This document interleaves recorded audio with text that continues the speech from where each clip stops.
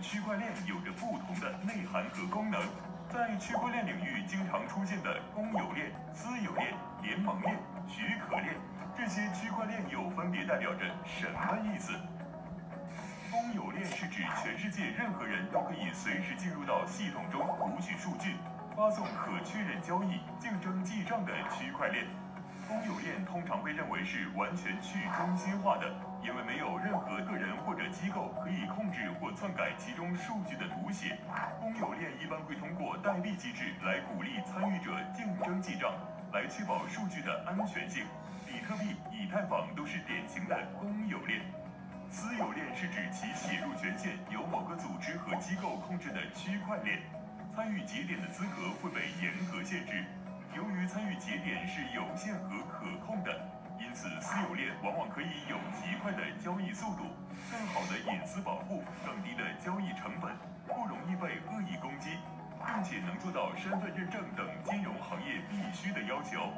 相比中心化数据库，私有链能够防止机构内单节点故意隐瞒或者篡改数据，即使发生错误，也能够迅速发现来源。因此，许多大型金融在目前更加倾向于使用私有链技术。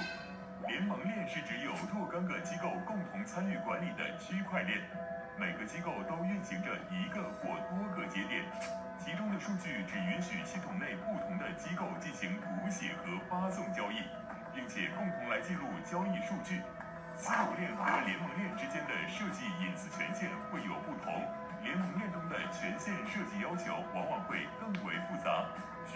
是指参与到区块链系统中的每个节点都是经过许可的，